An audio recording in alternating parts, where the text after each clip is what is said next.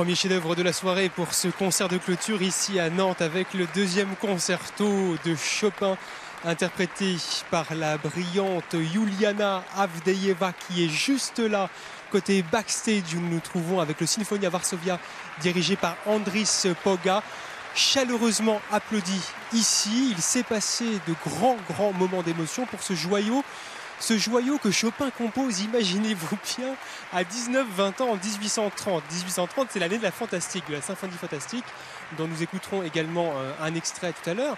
Et ce deuxième mouvement, ce paroxysme, cet orgasme stylistique du deuxième mouvement que vous avez entendu, dit-on inspiré euh, à Chopin par euh, un amour, un amour pour une soprano d'ailleurs, soprano Marita qui est là justement est en train de se préparer, soprano de, Varsovie, pour laquelle justement bah, Chopin éprouvait des sentiments. Et c'est juste, c'est juste après la mort de sa sœur aussi à Chopin, et c'est juste avant que Chopin ne vienne en France, donc en, en 1800.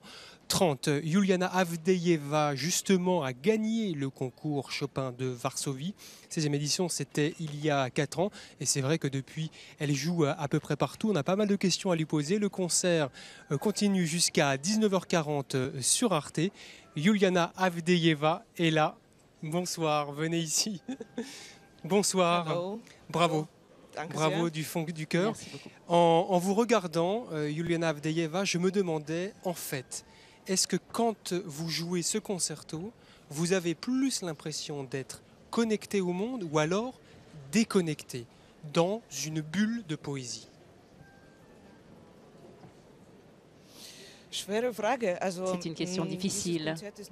Ce concerto, bien sûr, est un concerto très particulier pour le piano. Et pour moi, je dois dire que c'est un concerto très beau. Chopin était très jeune lorsqu'il l'a composé. Et il était effectivement amoureux. Et je trouve que ce concerto permet de faire passer de nombreuses, de nombreuses euh, expressions, sentiments, d'espoir par exemple. Et pour moi, le jouer est vraiment un sentiment très particulier. Alors, est-ce que c'est ce concerto que vous avez joué pour la finale du euh, concours de Varsovie il y a 4 ans, en 2010 Non, c'était pas ça? Non, ce n'était pas ça.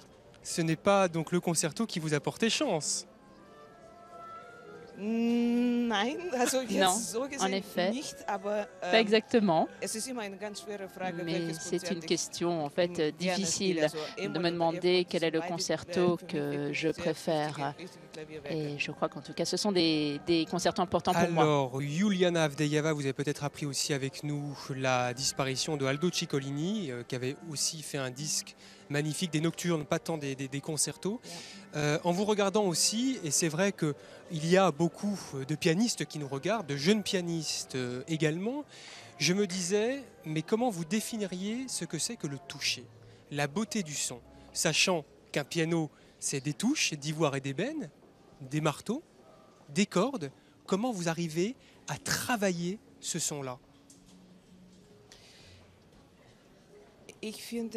Je trouve que tout ce qui se fait sur le piano, c'est l'illustration de ce qui se passe äh, dans la tête du pianiste. Il ne s'agit pas d'une question uniquement technique, c'est véritablement ce que l'on s'imagine dans son oreille. C'est ce qui ressort ensuite dans le jeu de piano. C'est la raison pour laquelle je pense qu'il est vraiment très important d'avoir euh, une compréhension musicale très importante. et à ce moment-là, on peut exprimer les choses au piano de manière euh, plus fine. Un grand merci à vous, Juliana Avdeyeva. Et surtout, euh, bravo. Et oui, Léonard de Vinci disait eh bien, que la musique était une cosa mentale et une chose mentale. C'est vrai que tout part de là quand même, on parle du toucher.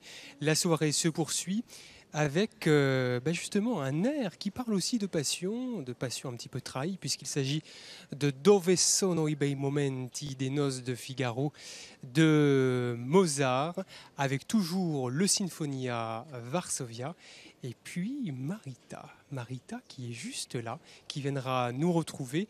Dove sono, c'est l'air de la comtesse au troisième acte.